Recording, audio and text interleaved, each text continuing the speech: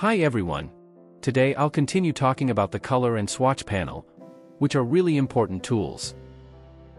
First, let's go over the basics of using the color panel.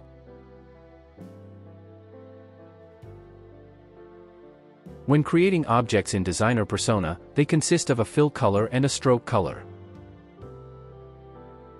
You should learn more about these color modes, RGB, CMYK, and HSL, to better understand how they work and when to use each one. This knowledge is essential, especially if you're working in both digital and print media. In the color panel, you can choose your preferred color palette. I set the color picker mode to wheel. To switch the color, you can click the fill or stroke circles, or use the up and down arrow icon, or even press the X key.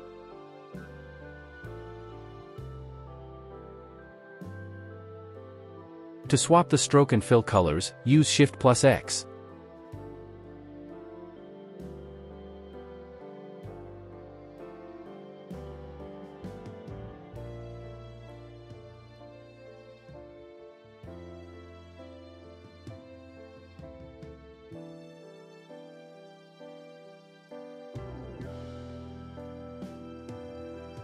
You can also use the picker tool to sample colors from other objects.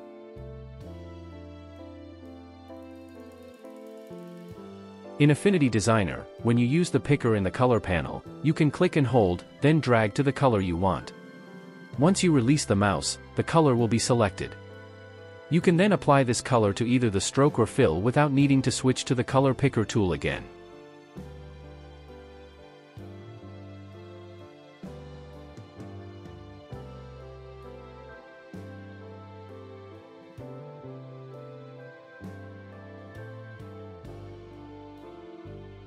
In the opacity bar, if you click it again, it changes to the noise option.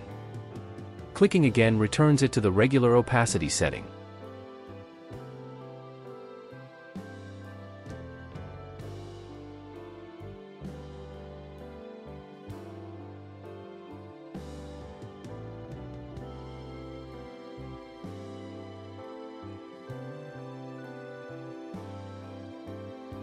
Moving on to the swatch panel, this is where you store frequently used colors and save custom colors. There are several options to add a palette here but I won't go into all of them. For example, there are different types of swatches, document, which is the color used in the current file, global, which changes every instance of that color across your design, registration, a special color used for printing, and application, which are swatches saved for Affinity Designer specifically. When you create a palette, just select a color and click the Add Current Fill to Palette icon. Remember, if you create a document palette, it will only work within the document you're currently in. Right-click Delete Fill to remove the color from the palette. You can right-click on the object and select Add Colors to Swatches.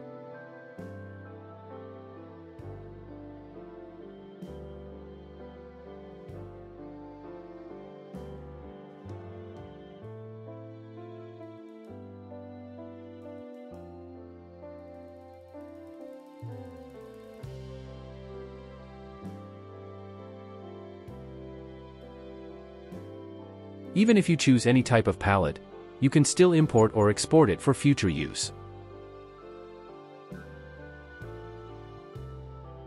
Yes, you can add gradient colors to the swatch palette. Just like regular colors.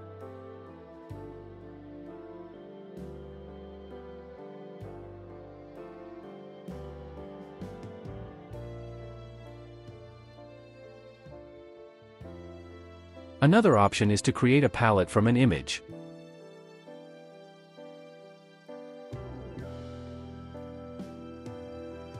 Just choose how many colors you want, click Preview, and then hit Create.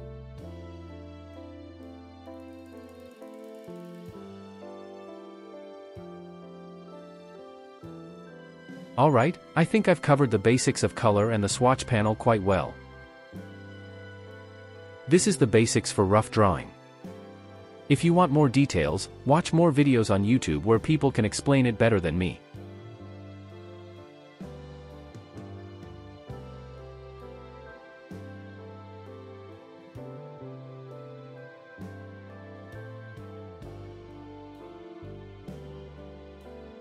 I don't usually draw highly detailed cartoon characters in graphic design that often.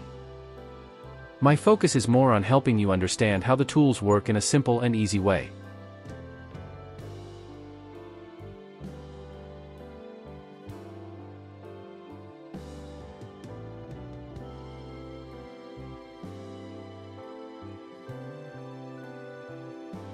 I understand that if you become skilled at using a certain program, it usually means that the program is good.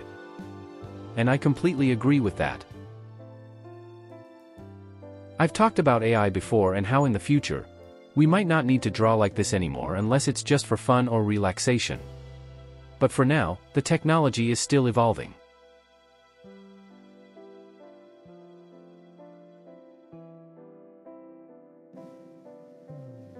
Most of my videos focus on drawing, not so much on creating logos or text styles. In fact, using this program for drawing isn't always the easiest way. There are simpler methods out there, but I like to offer my viewers another approach. You might not always draw, but you can still benefit from learning to use these tools.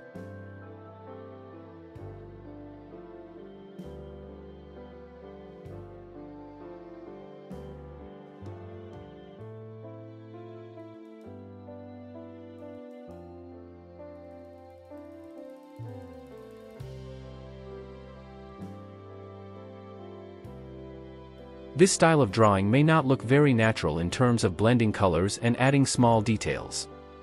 But it works very well. There may be some limitations and some difficulties in my opinion,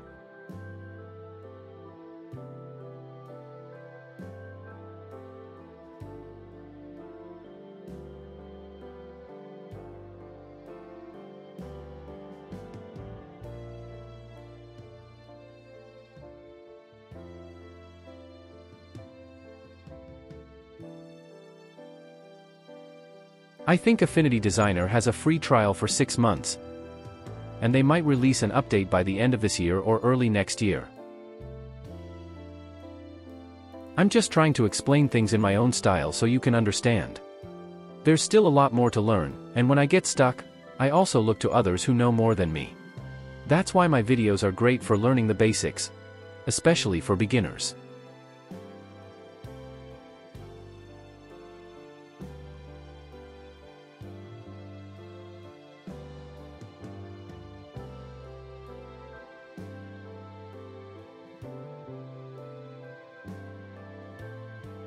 My videos are meant as a guide. If you want more detailed information, there are definitely other YouTube videos that go deeper into the subject. If you're interested in learning more about this program, it's definitely worth exploring further. That's all for today's video. I hope you'll come back and check out the next one. Thanks for watching.